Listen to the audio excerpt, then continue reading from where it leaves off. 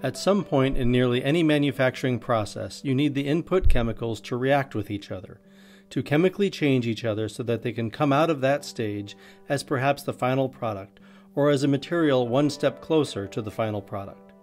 In a traditional process, the input chemicals are added along with a reagent.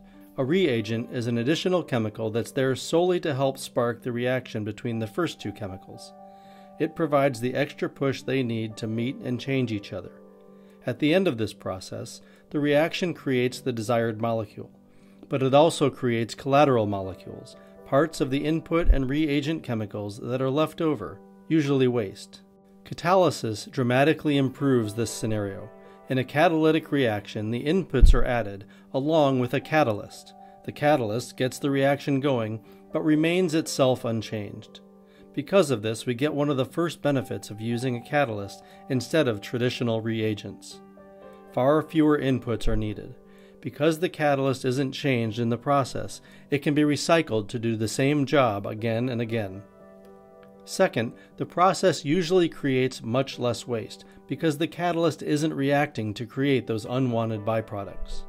Third, catalysts usually make reactions happen faster than reagents meaning a factory can make the desired product in less time.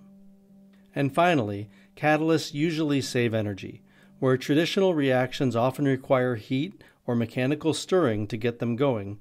Most catalytic reactions can happen at lower temperatures and without the agitation.